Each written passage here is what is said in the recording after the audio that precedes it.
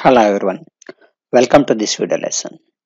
In this video lesson, we would like to talk about the deviation produced by a prism combination without dispersion.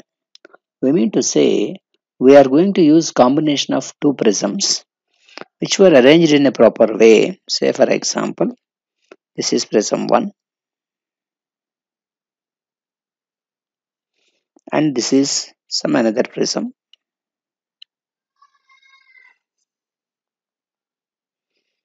We are going to arrange the two prisms in such a way that when you pass the light through this prism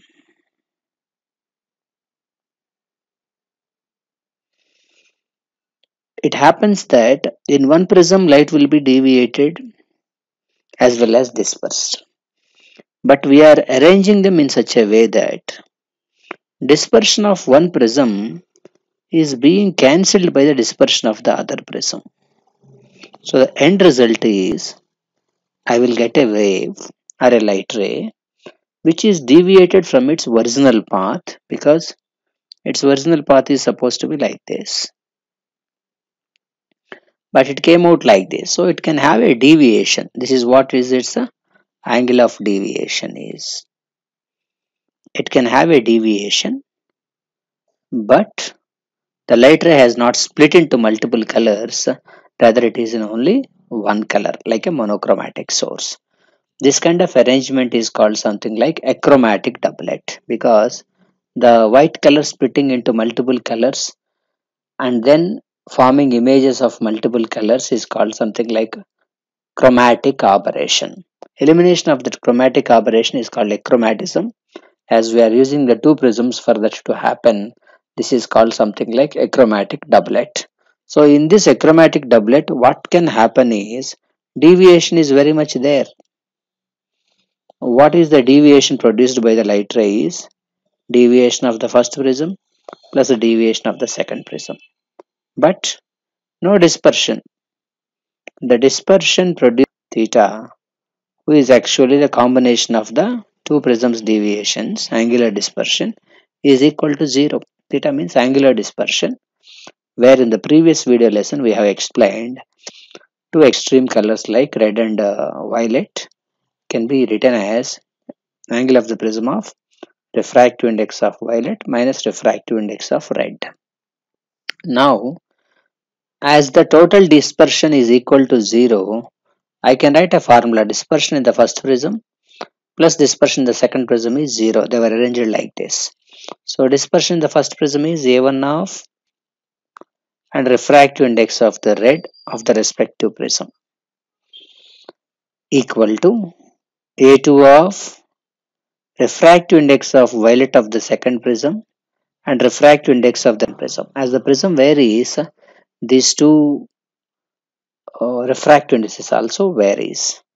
From here I can write angular dispersion due to the first one is minus of angular dispersion due to the second one. So I can write even a minus sign.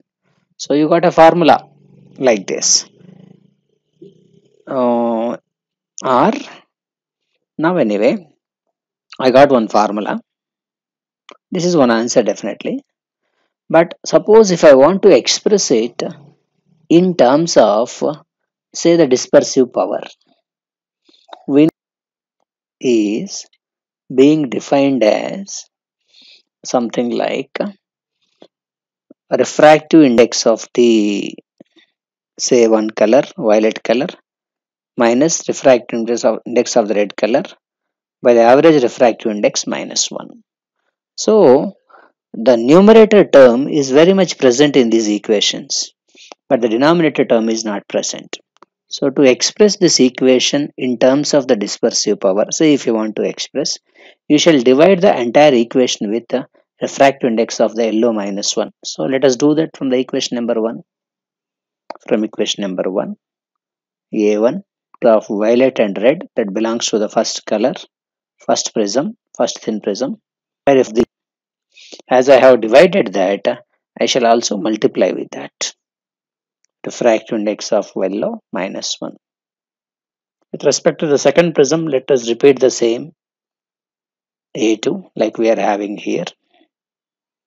refractive index of the violet for the second prism, red for the second prism, refractive index of the yellow for the second prism minus 1 and multiply with the same term.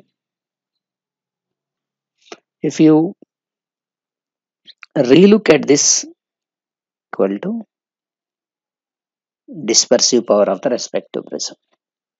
The remaining term is nothing but the the deviation which is called something like a angular deviation of the prism. So what I can write dispersive power 1 and then angular deviation 1 of the first prism is minus again this is the dispersive power of the second prism all that are nothing but the angular deviation of that second prism minus dispersive power of the second prism and the angular deviation of the second prism. So if you arrange the two prisms such a way that dispersive power of the first prism by dispersive power of the second prism is minus deviation of the second prism by deviation of the first prism. Then the prism acts like a combination. We will produce only deviation without any dispersion. So the output of the system will have only one color. We have only one color solved and this phenomena is called something like achromatism. This is how I can use the combination of two prisms and get the deviation but without a dispersion. Both deviation and dispersion are unwanted for us in a prism. We want to eliminate in fact both of them but we cannot eliminate both of them practically. That's why we are at least trying to eliminate one. Therefore we can live with the other one right? Thank you for watching. Keep coming back for more and more video lessons. Thank you